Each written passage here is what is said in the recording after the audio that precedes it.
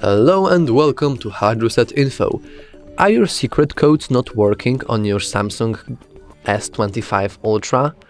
Well, in this tutorial I will show you how to fix it. Let's begin. Now, fixing this is really really simple. All you have to do is go into settings, scroll all the way down, or not all the way down, but un until you find security and privacy option, you click it. And here you can see that auto blocker is enabled. We have to simply disable it. It will ask us if we want to for sure turn off auto blocker. And now, if we try once again, it's working just fine. If you like this tutorial, please remember to like and subscribe. Thanks for watching.